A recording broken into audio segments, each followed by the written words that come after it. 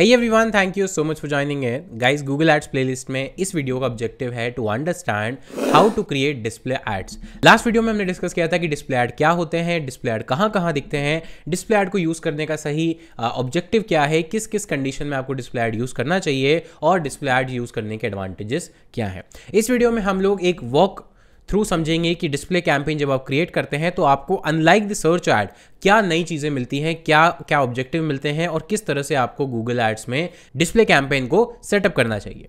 तो इसके लिए आपको आना है सबसे पहले अपने एड्स मैनेजर के अकाउंट में और यहाँ पर वैसे जैसे हम नया कैंपेन बनाते हैं न्यू कैंपेन पर आप क्लिक करेंगे। न्यू कैंपेन पर क्लिक करने के बाद सबसे पहले आपको जो सेलेक्ट करना है, वो ऑफकोर्स ऑब्जेक्टिव है। तो अब डिस्प्ले कैंपेन भी आप मल्टीपल ऑब्जेक्टिव के लिए सेलेक्ट कर सकते हैं। जैसे अगर आपको लेट्स से सेल्स चाहिए तो अगर आपको सेल्स चाहिए तो भी आप डिस्प्ले आर्ट्स यहाँ पर चला सकते हैं। अगर आप देखेंगे, यहाँ पर आपको डिस्प्ले एड का ऑप्शन मिल रहा है। अगर आपको लीड्स चाहिए तो लीड्स के केस में भी आप डिस्प्ले एड चला सकते हैं। यहाँ पर आपको डिस्प्ले एड का ऑप्शन मिल जाएगा। वेबसाइट ट्रैफ़िक चाहिए तो वेबसाइट ट्रैफ़िक के केस में भी आप डिस्प्ले एड चला सकते हैं। ऐप प्रमोशन करवाना है तो आप जो है, वो सिर्फ़ ऐप वाला चला सकते हैं। क्यों? क्योंकि ये प्ले स्टोर पर चलेगा राइट क्योंकि वहाँ इंस्टॉल करना होता है।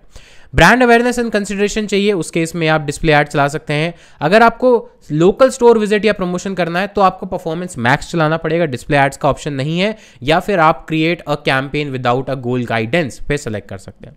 यानी सिर्फ़ लोकल स्टोर विज़िट और ऐप प्रमोशन को छोड़कर अगर आपका कोई भी ऑब्जेक्टिव है तो उसके अंदर आपको डिस्प्ले एड्स का ऑप्शन मिल जाता है। अब डिस्प्ले एड्स का ऑप्शन ये जो ऑप्शन हैं आपके कैंपेन ऑब्जेक्टिव उसके बेस पर भी मिलता है। और अगर आपको सारी सेटिंग्स खुद से करनी है, कि मुझे तो सारी सेटिंग खुद कंट्रोल करनी है तो आप create a campaign without a goal guidance पर क्लिक कर सकते हैं। गाइज़ इसके अंदर और रिमेनिंग ऑप्शन के अंदर फ़र्क ये है कि अगर जो भी आप पहले से ऑप्शन जैसे सेल्स लीड ये चूज़ करते हैं तो गूगल आपको उसी कैंपेन ऑब्जेक्टिव या आपके गोल ऑब्जेक्टिव के अकॉर्डिंग सेटिंग्स दिखाता है। तो कुछ सेटिंग्स वो आपको पहले से करके दे देता है और कुछ सेटिंग्स आपके हाथ में होती है। बट अगर आपको सारी की सेटिंग्स खुद से कंट्रोल करनी है तो आप हमेशा create a campaign without a goal guidance पर क्लिक कर सकते हैं। इसके अंदर आपको सारे कैंपेन टाइप मिलेंगे, चाहे वो सर्च है performance max demand gen display shopping video app सारे मिलेंगे बिकॉज़ सारी सेटिंग्स आपके हाथ के अंदर है। तो अब यहाँ पर बात करेंगे डिस्प्ले एड्स की तो डिस्प्ले पर हम लोग क्लिक करेंगे। अगेन यहाँ पर आपको अपना जो भी कैंपेन कन्वर्जन गोल है ऑप्टिमाइजेशन है, वो चूज़ कर सकते हैं या फिर आप कंटिन्यू पर क्लिक करेंगे। यहाँ पर आपको वेबसाइट देनी है तो वेबसाइट के केस में हम लोग अभी एक बार वेबसाइट का लिंक डाल देते हैं यहाँ पर, सिंपली कॉपी करेंगे और यहाँ पर आके वेबसाइट का जो लिंक है उसको पेस्ट कर देंगे एंड देन क्लिक करेंगे कंटिन्यू पर। डिस्प्ले का नाम कैंपेन का नाम हम लोग चूज़ करेंगे display demo campaign and then यहाँ से क्लिक करेंगे कंटिन्यू के बटन पर। अब यहाँ पर सारी सेटिंग्स हम लोग देखते हैं कि कैंपेन लेवल पर अगर आप लेफ़्ट साइड में देखेंगे तो यहाँ पर आप देखेंगे कैंपेन लेवल पे क्या मिलता है, उसके अलावा आपको एड ग्रुप क्या मिलता है, आपको मैक्सिमम सेटिंग्स जो मिलेंगी वो कैंपेन के अंदर मिलेगी बजट बिडिंग ये सब आपको ऑप्शंस यहाँ पर मिल जाएँगे। तो सबसे पहले कैंपेन सेटिंग्स की बात करते हैं तो सबसे पहले लोकेशन आपको सेलेक्ट करनी है तो ऑफकोर्स लोकेशन आप चूज़ कर सकते हैं। लोकेशन पे एक डिटेल्ड वीडियो ऑलरेडी हम पहले बना चुके हैं इस प्लेलिस्ट में तो वो आप जाकर देख सकते हैं, अगर आपको सारी सेटिंग्स को समझना है। लेट्स से हम यहाँ पर चूज़ कर देते हैं इंडिया यहाँ पर लैंग्वेज बाई डिफ़ॉल्ट इंग्लिश है। अगर मैं इंग्लिश को हटा देता हूँ तो ऑल लैंग्वेज सपोर्ट आ जाती है या फिर आपको बाई डिफ़ॉल्ट से हिंदी लैंग्वेज चाहिए तो आप पर्टिकुलर लैंग्वेज को भी सिलेक्ट कर सकते हैं। अभी के लिए मैं ऑल लैंग्वेजेस रखता हूँ। मोर सेटिंग्स पर आप क्लिक करेंगे तो यहाँ पर आप देखेंगे एड रोटेशन एड रोटेशन का मतलब है कि अगर आपने मल्टीपल एड कॉपीज बनाई हैं और आप चाहते हैं कि जो बेस्ट परफॉर्मिंग एड है वो ज़्यादा बार दिखे तो आप इसको एज इट इज़ छोड़ सकते हैं. या फिर अगर आप सारे एड्स को इक्वली चांस देना चाहते हैं तो आप डू नॉट ऑप्टिमाइज पर क्लिक कर सकते हैं. बट अगर आपका ऑब्जेक्टिव है कि पर्टिकुलर गोल अचीव करना तो आप ऑप्टिमाइज वाले ऑप्शन को एज इट इज़ छोड़ सकते हैं. इसके अलावा आपका है एड शेड्यूल कि आपको सारे दिन एड दिखाना है, पूरे दिन एड दिखाने हैं, या फिर पर्टिकुलर टाइम से लेकर पर्टिकुलर पर्टिकुलर टाइम तक ऐड दिखाने वो आप चूज़ कर सकते हैं। डिवाइस रिस्ट्रिक्शन क्या आपको सिर्फ़ डेस्कटॉप पर दिखाना है मोबाइल पर दिखाना है टैबलेट्स पर दिखाना है, इसके अकॉर्डिंग भी आप चूज़ कर सकते हैं। ये किस केस में काम आएगा? जब आपका कोई स्पेसिफिक जैसे कोई सॉफ्टवेयर है, कोई मोबाइल एप्लीकेशन है, जो आपको उसी पर्टिकुलर डिवाइस में इंस्टॉल करवानी है। अदरवाइज़ अगर आपकी वेबसाइट है तो भी आप यू नो ऑल डिवाइसेस के साथ जा सकते हैं। इसके अलावा और सेटिंग्स हैं यहाँ पर। डायनेमिक कैंपेन ये आपका यू नो यूआरएल पैरामीटर के ट्रैकिंग के पॉइंट ऑफ़ व्यू से है डायनेमिक एड ये भी आप छोड़ सकते हैं। नो डेटा फ़ीड यहाँ पर हमें डेटा फ़ीड को यूज़ करना पड़ता है। वो मैं आने वाली वीडियोज़ में आपको डिटेल में बताऊँगा। यहाँ पर start date end date select कर सकते हैं। कन्वर्जन्स में कन्वर्जन्स को आप इंक्लूड कर सकते हैं। यानी कौन से कन्वर्जन्स आपको किस टाइप के कन्वर्जन चाहिए, क्या कन्वर्जन सेटिंग्स हैं। और कंटेंट एक्सक्लूजन यानी अगर आपको किसी पर्टिकुलर कैटेगरी पर अपना कॉन्टेंट नहीं दिखाना है। बिकॉज़ लास्ट वीडियो में हमने बात की थी कि डिस्प्ले एड्स आपके अलग अलग डिस्प्ले वेब पार्टनर वेबसाइट जी इन सब पर दिखेंगे। तो मान लीजिए कोई ऐसी वेबसाइट है जो आपके कॉन्टेंट से मैच नहीं करती और आपको उस कॉन्टेंट में नहीं दिखाना है। कोई सेंसिटिव कॉन्टेंट है, कोई अब्यूसिव कॉन्टेंट किसी भी तरह का कॉन्टेंट हो सकता है। अगर उस पर नहीं दिखाना है तो आप यहाँ से एक्सक्लूड कर सकते हैं और अगर आप सारे कॉन्टेंट के लिए अलाउड करते हैं तो यहाँ पर आपको कुछ भी एक्सक्लूड करने की ज़रूरत नहीं है। यहाँ पर ये सेटिंग्स चूज़ करने के बाद अब आपको चलना है नेक्स्ट पर। नेक्स्ट पर क्लिक करेंगे। देखिए, यहाँ पर है बजट तो जो डेली बजट हम लगाते हैं लेट से हमारा डेली बजट है हंड्रेड रुपीज़ पर डे तो हम चूज़ करेंगे और जैसे आप बजट लिखेंगे तो देखेंगे राइट साइड में आपकी एस्टिमेटेड परफॉर्मेंस इंप्रेशन ये आपको दिखना शुरू हो चुका है। अब बात करते हैं बिडिंग की। बिडिंग क्या मतलब है कि कौन सी बिड स्ट्रैटेजी आप यूज़ करेंगे, आपको यहाँ पर किस पे फोकस करना है? कन्वर्जन पर कन्वर्जन वैल्यू पर या व्यूएबल ऐप इंप्रेशन पर? व्यूएबल इंप्रेशन का मतलब है गाइज़ एक बात समझना।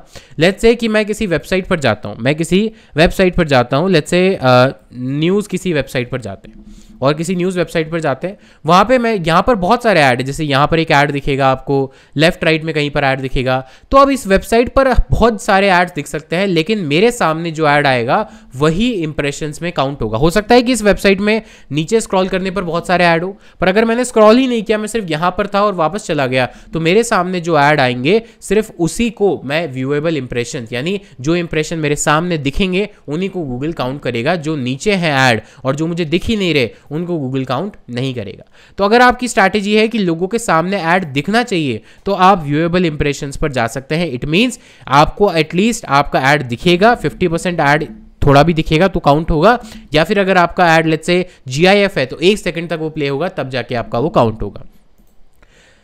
ये जो बिड स्ट्रैटेजी है व्यूएबल इंप्रेशन ये तब काम आती है जब आपका ऑब्जेक्टिव है ज़्यादा से ज़्यादा अवेयरनेस ज़्यादा से ज़्यादा यू नो कंसिडरेशन या ज़्यादा से ज़्यादा लोगों को रीच करने में तो आपको व्यूएबल इंप्रेशन पे जाना चाहिए। अगर आपका कोई डायरेक्ट स्ट्रैटेजी है लेट्स से अगर आपने बोला है कि नहीं, मुझे तो मैक्सिमम क्लिक्स चाहिए मैक्सिमम टारगेट रो एस चाहिए सी चाहिए, ये सारी आपकी यू नो स्ट्रैटेजीज हैं viewable CPM cost per mile यानी हज़ार इंप्रेशन हज़ार व्यूएबल इंप्रेशन पर आप कितना पैसा देना चाहते हैं। तो ये सारी बिडिंग स्ट्रैटेजी हम ऑलरेडी प्रीवियस वीडियो वीडियोस में डिस्कस कर चुके हैं। तो अगर आपको समझना है तो आप डिटेल में जा सकते हैं एंड बेस्ड ऑन आपका जो भी गोल है, उसके अकॉर्डिंग यहाँ पर चूज़ करते हैं। तो लेट्स से कि मैं व्यूएबल सीपीएम के साथ जाता हूँ और मैं यहाँ पर लेट्स से देता हूँ कि मुझे बीस रुपए देने हैं एवरी थाउज़ेंड इंप्रेशन यानी अगर हज़ार इंप्रेशन मुझे मिलेंगे मेरे ऐड को व्यूएबल इंप्रेशन तो मैं बीस रुपए दे सकता हूँ।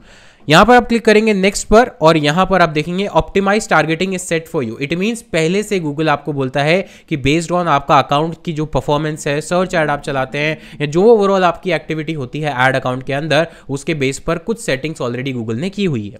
लेकिन हमें जो टारगेटिंग करनी है, वो यहाँ पर क्लिक करनी है। देखिए टारगेटिंग गूगल एड्स में डिस्प्ले कैंपेन्स के लिए दो तरीके से हो सकती है। एक होती है प्लेटफॉर्म वाइज यानी कहाँ कहाँ दिखाना है, किस वेबसाइट पर या किस प्लेटफॉर्म पर दिखाना है, और दूसरा, किस टाइप के कंटेंट पर दिखाना है। तो या तो आप ये ये डिसाइड कर सकते हैं कि कहाँ पर दिखाना है, या फिर दूसरा ये डिसाइड कर सकते हैं कि किस टाइप के कॉन्टेंट पर दिखाना है। ये दो टाइप के टारगेटिंग आप कर सकते हैं। तो यहाँ पर आप देखेंगे, यहाँ पर डेमोग्राफिक कीवर्ड टॉपिक प्लेसमेंट तो अगर आपको कॉन्टेंट वाइज दिखाना है कि पर्टिकुलर कॉन्टेंट यानी से आपका कॉन्टेंट है लेट्स से वर्ड प्रेस से रिलेटेड तो देखेंगे आप यहाँ पर मेरी वेबसाइट से रिलेटेड आ गया। तो मुझे अगर लेट्स से वर्ड से रिलेटेड कॉन्टेंट पर मेरा ऐड दिखाना है तो मैं यहाँ पर अपने कीवर्ड्स डाल सकता हूँ। कीवर्ड्स के अलावा मैं यहाँ पर अपने जो आई टॉपिक्स हैं, वो भी डाल सकता हूँ। टॉपिक में लेट्स से मुझे डालना है टॉपिक्स में यहाँ डालना है, मुझे वेबसाइट डेवलपमेंट यानी किसी को अगर वेबसाइट डेवलपमेंट के कंटेंट में इंटरेस्टेड है तो वो मेरा जो ऐड है वहाँ पर दिखना चाहिए. तो अगर देखेंगे e commerce services data scripting language Windows right WordPress search इन ऑप्टिमाइजेशन होस्टिंग तो ये एक ब्रॉड टॉपिक है ब्रॉड एरिया है जहाँ पर लोग आएँगे. कीवर्ड और टॉपिक में डिफरेंस ये है कीवर्ड यानी गूगल पे लेट्स से कोई सर्च करता है वर्ड प्रेस तो मुझे उसका इंटरेस्ट पता चल जाता है तो फिर अब गूगल उसको ऑटोमेटिकली मेरे ऐड दिखाना शुरू कर देगा, क्योंकि अब उसको पता चल गया है कि ये वर्ड से रिलेटेड है या ऐसी वेबसाइट को विज़िट करता है जो वर्ड पे नॉलेज देती है वर्ड पे ब्लॉग लिखती है।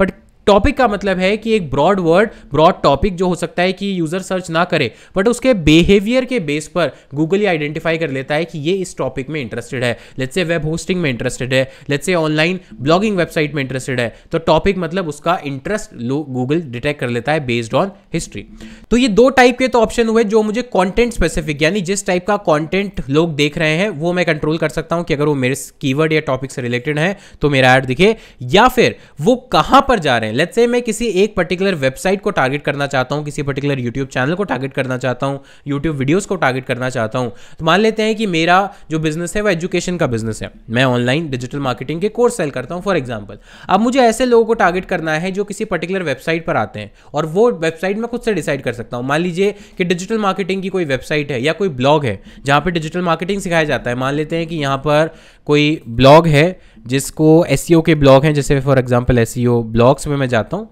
और यहाँ पर लेट्स से कि यहाँ पर आप देखेंगे कि ये बहुत सारे ब्लॉग्स हैं। तो मान लीजिए कोई ब्लॉग है A H R E F का ब्लॉग है। अब मैं इस पर अपनी वेबसाइट का जो कोर्स का जो ऐड है, वो दिखाना चाहता हूँ। तो इस केस में मैं वापस अपने डिस्प्ले कैंपेन्स में आऊँगा। यहाँ पर मैं लिखूँगा A H R E F उस वेबसाइट को सर्च करने के लिए देखता हूँ कि क्या ये गूगल के पार्टनर डिस्प्ले नेटवर्क में है या नहीं। अगर होगी तो ही मुझे मिलेगा। वेबसाइट पर क्लिक किया तो आप देखेंगे यहाँ पर ए e में मुझे ये ऑप्शन मिल रहे हैं। तो अगर ए e का मैं पूरा यू डालूँ तो ए e में डालना चाहता हूँ। तो ए में डालता हूँ और डॉट कॉम डालने के बाद देखते हैं कि क्या ये वेबसाइट गूगल के पार्टनर्ड में है या नहीं। अगर होगी तो ही मुझे दिखेगी, अदरवाइज़ नहीं दिखेगी। तो अगर यहाँ पर देखते हैं तो यहाँ पर नहीं है। राइट? और लोड मोर करके भी देख सकता हूँ, पर A H R E F यहाँ पर गूगल के डिस्प्ले नेटवर्क में नहीं है। तो मान लेते हैं कि कोई और वेबसाइट लेते हैं जो डिस्प्ले में यू नो इन्वॉल्व है और ये कोई ब्लॉगिंग वेबसाइट है, जैसे ये वेबसाइट है। तो सर्च इंजन लैंड ये वाली जनरल की वेबसाइट है, इसको मैं कॉपी करता हूँ और यहाँ पर मैं इसको सर्च करने की कोशिश करता हूँ। तो यहाँ पर देखते हैं कि क्या ये वेबसाइट गूगल के पार्टनर्ड वेबसाइट में इंक्लूडेड है या नहीं। तो मैंने इसको सर्च किया और सर्च करने पर वेबसाइट में देखते हैं यस ये वेबसाइट में तो यानी अब मैं डिसाइड कर सकता हूँ कि इस वेबसाइट पर आने वाले विजिटर्स को मेरा ऐड दिखेगा। वो चाहे एस e में इंटरेस्टेड हो डिजिटल मार्केटिंग में इंटरेस्टेड हो, या ऐसे ही इस वेबसाइट पर आ गए हों, मैं उस वेबसाइट पर आने वाले जितने भी विजिटर्स हैं, उनको टारगेट करना चाहता हूँ। तो दो तरह की टारगेटिंग हो गई। या तो मेरे कॉन्टेंट यानी मेरा जो सर्विस है प्रोडक्ट है, उससे रिलेटेड जो इंटरेस्टेड लोग हैं, उनको ऐड दिखे, चाहे वो किसी भी वेबसाइट पर जाए, कहीं भी जाए, मुझे ऐड दिखाना है। या फिर मैं किसी पर्टिकुलर वेबसाइट पर यूट्यूब चैनल पर यूट्यूब वीडियो पर ऐड दिखाना चाहता हूँ क्योंकि वह, मैं ये समझता हूँ कि उस वीडियो पर, उस चैनल पर आने वाले लोग मेरे एड मेरे प्रोडक्ट या सर्विसेज़ में इंटरेस्टेड होंगे। सिर्फ़ वेबसाइट ही नहीं, आप यूट्यूब वीडियोज़ भी दिखा सकते हैं। तो फॉर एग्ज़ाम्पल यहाँ देखिए यूट्यूब चैनल तो सर्च इंजन लैंड का सर्च इंजन जनरल का जो चैनल है, उस पर भी मैं ऐड दिखा सकता हूँ। अगर मान लीजिए यहाँ पर इनकी वीडियोज़ हैं तो एस e से रिलेटेड कोई वीडियोज़ है जो मुझे लगता है कि बहुत इन्फॉर्मेटिव है, बहुत वायरल जा रही है, उस पर भी मैं अपने ऐड दिखा सकता हूँ। तो उस पर भी बीच में मेरे ऐड डिस्प्ले ऐड देखेंगे। तो यानी प्लेटफॉर्म वाइज आप टारगेटिंग कर सकते हैं या फिर आप कंटेंट वाइज टारगेटिंग कर सकते हैं। तो कंटेंट में ये डिसाइड नहीं होगा कि कहाँ पर्टिकुलर प्लेस पे दिखाना है। कंटेंट में फिर ये डिसाइड होगा कि जहाँ भी यूज़र जा रहा है, चाहे वो गूगल पर जाए यूट्यूब पर जाए वेबसाइट पर जाए, सब जगह मेरा ऐड दिखेगा। या फिर प्लेसमेंट वाइज कि सिर्फ़ इस वीडियो पे आए, जो यूज़र आएँगे उनको दिखेगा, सिर्फ़ इस वेबसाइट पर आएँगे उनको दिखेगा, सिर्फ़ इस लेट्स से कि ऐप पर आएँगे उनको दिखेगा। तो कंटेंट वाइज और प्लेस प्लेसमेंट वाइज दो तरह से आप टारगेटिंग कर सकते हैं। एक बार टारगेटिंग करने के बाद आपको क्लिक करना है। नेक्स्ट पर अब यहाँ पर अगेन आपको ऐड बनाना है। फाइनल स्टेज में आ गए हम लोग ऐड बनाने के। दो तरह के डिस्प्ले ऐड होते हैं। एक होता है रिस्पॉन्सिव डिस्प्ले ऐड और एक होता है standard display ad standard display ad का मतलब है कि जो भी गूगल के साइजेस हैं, जैसे अगर मैं बात करूँ, मैंने लास्ट वीडियो में भी आपको बताया था डिस्प्ले ऐड साइजेस तो गूगल ने कुछ साइजेस डिफाइन किए हुए हैं कि अगर आपको डिस्प्ले ऐड चलाने स्टैंडर्ड डिस्प्ले ऐड तो आपको इस तरह के साइजेस में अपना ऐड जो है, वो बनाना पड़ेगा। इसमें अपना जो ऐड है वो बनाना पड़ेगा। लेकिन गूगल का दूसरा ऑप्शन होता है, वो है responsive display ad it means जो भी आपके पास अवेलेबल है, चाहे वो साइज़ में है या नहीं गूगल उनको मिक्स मैच करके अपने अकॉर्डिंग एड सेटअप कर देगा। तो अगर आपको यहाँ पर यहाँ पर अगर आप देखेंगे बाई डिफ़ॉल्ट रिस्पॉन्सिव है, अगर आपको स्टैंडर्ड करना है तो यहाँ पर आप अपलोड डिस्प्ले एड पर क्लिक करेंगे तो आप कन्वर्ट हो जाएँगे स्टैंडर्ड डिस्प्ले एड्स में, यानी अब आपको अपने जो एड्स हैं, वहाँ पर इस पर अपलोड करना है। तो फाइनल यूआरएल आपको डालना है, इसके बाद यहाँ पर जितने भी फाइल्स हैं, वो आपको डालनी है, पर ध्यान रखना है कि आपको मैक्सिमम साइज़ आपको फॉलो करनी है, तभी जाकर आपका ऐड चलेगा। अगर आपके पास साइजेस नहीं है और बनाने का टाइम नहीं है तो आप रिस्पॉन्सिव एड्स पर चले जाइए। रिस्पॉन्सिव एड्स में होगा क्या कि जो भी आपकी इमेजेस हैं, जो भी आपकी यू नो लोगोज हैं, उनको गूगल यूज़ करेगा। तो लेट्स से कि मैं डिस्प्ले ऐड में यहाँ पर बिज़नेस का नेम में देता हूँ तो मैं एक रिस्पॉन्सिव डिस्प्ले ऐड बनाना चाहता हूँ। तो रिस्पॉन्सिव के केस में आप देखिए, यहाँ पर इमेजेस गूगल ने मेरी वेबसाइट से फेच कर ली है तो मैं यहाँ पर एक बार रिव्यू कर लेता हूँ। और यहाँ पर बाय डिफ़ॉल्ट जो फेच हुई है इमेजेस वो आ गई हैं और मैं अपलोड भी कर सकता हूँ। तो मेरे केस में मैं सबको सेलेक्ट कर लेता हूँ एक केस इस ऑब्जेक्टिव के लिए। तो यहाँ पर मैंने इन इमेजेस को सेलेक्ट कर लिया और इसके भी देखो अलग अलग वर्जनस हैं कि कौन सा ratio one by one nine by sixteen ये रेशियो आप सेलेक्ट कर सकते हैं। और यहाँ पर गूगल की कुछ फ्री स्टॉक इमेजेस भी हैं, जिनको आप यूज़ कर सकते हैं, पर मेरा के, मेरा सजेशन है कि आप खुद के ब्रांड की इमेज यूज़ करें, ज़्यादा अच्छा है, और यहाँ से आप अपलोड भी कर सकते हैं। तो वेबसाइट से अगर मैं फैच करूँगा तो देखिए वेबसाइट से ऑलरेडी इसने फैच कर लिए हैं वर्टिकल और हॉरिजॉन्टल इमेजेस तो यहाँ पर भी मैं और सेलेक्ट कर सकता हूँ, और यहाँ पर वो उसको इंक्लूड करना शुरू कर देगा। अब मुझे साइजेस की परवाह करने की ज़रूरत नहीं है, क्योंकि मैं ऑलरेडी अब जो भी मेरे पास अवेलेबल है वो दे दूँगा और गूगल फिर उसमें से देखेगा कि क्या मैं किस चीज़ को यूज़ कर सकता हूँ और किस चीज़ को यूज़ नहीं कर सकता हूँ। तो यहाँ पर देखिए मैंने इमेजेस दे दी हैं तो मैंने यहाँ इमेजेस अपलोड कर दिए हैं। मुझे अपने लोगोज डालने हैं तो लोगोज के लिए अगेन मैं अपलोड कर सकता हूँ या वेबसाइट से भी फैच कर सकता हूँ। तो इस केस में एक बार वेबसाइट पर जाता हूँ, यहाँ पर लोगों को डाउनलोड कर लेता हूँ सेव कर लेता हूँ अपने डेस्कटॉप पे और यहाँ से मैं वापस इसको अपलोड कर देता हूँ। तो यहाँ पे अपलोड पे क्लिक किया अपलोड फ्रॉम कंप्यूटर यहाँ से लोगों को मैंने चूज़ कर लिया और लोगों को मैंने यहाँ से अपलोड कर दिया। अब दो चीज़ आपको ध्यान रखनी है बस लैंडस्केप और पोर्ट्रेट यानी लैंडस्केप मतलब जिसकी विथ ज़्यादा हो हाइट कम हो पोर्ट्रेट मतलब जिसकी हाइट ज़्यादा हो विथ कम हो। इन दोनों केस में आपको रखना है और एक स्क्वायर फॉर्मेट भी आपको रखना चाहिए। वीडियोज़ अगर आपको है थर्टी सेकेंड की GIF टाइप वो आप यूज़ कर सकते हैं। अब यहाँ पर आपको हेडलाइंस लिखनी है, जो भी आपके ब्रांड की हेडलाइंस हैं। यहाँ पर आपको शॉर्ट हेडलाइन और लॉन्ग हेडलाइन दोनों का ऑप्शन मिलता है प्लस डिस्क्रिप्शन का ऑप्शन मिलता है एंड देन फाइनली यहाँ से आप क्रिएट एड पर क्लिक करेंगे और यहाँ पर नेक्स्ट पर क्लिक करके आप लोग सबमिट कर देंगे। तो जो भी आपकी टारगेटिंग है, जो भी आपका बजट है, उसके बेस पर गूगल आपके एड को सर्व करना स्टार्ट कर देगा एंड देन फिर उसके केस में आप लोग आगे बढ़कर अपने एड को रिव्यू कर सकते हैं। तो वाइज ये था एक वॉक थ्रू और कैसे आप गूगल एड्स कैंपेन बना सकते हैं डिस्प्ले कैंपेन बना सकते हैं कौन कौन सी सेटिंग्स मिलती हैं और आप उनको कैसे यूज़ कर सकते हैं। आने वाली वीडियोज़ में हम देखेंगे कि और भी डीप कौन कौन से हैक्स हो सकते हैं कौन कौन सी ट्रिक हो सकती है, जहाँ पर आप डिस्प्ले कैंपेन को यूज़ कर सकते हैं। तो गाइज़ मिलता हूँ नेक्स्ट वीडियो में, तब तक के लिए take care thank you so much have a nice day